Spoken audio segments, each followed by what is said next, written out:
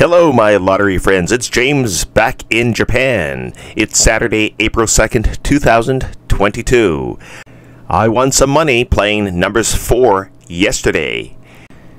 You know, I have to say that I got really lucky. I think luck sometimes follows me because I posted my numbers 4 prediction on March 31st around midnight.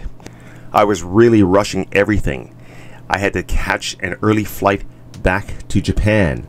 I needed to get to the airport at 4 a.m. So I was just trying to gather the numbers and make this video at midnight.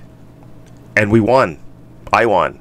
In case you're wondering how I got my tickets from Bangkok, well, I played online through my SMBC account or my Takarakuji point card account.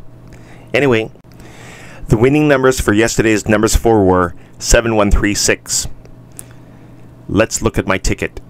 This is my winning ticket, numbers 6137. I chose set, and because my numbers are, were in a different order, I was awarded set box, which is 21,900 yen. Not bad. Anyway, friends, consider joining my lottery group. It's only 490 yen per month. You'll see my lottery predictions for the main Japanese lottery games. Thanks for watching. Stay safe. Bye.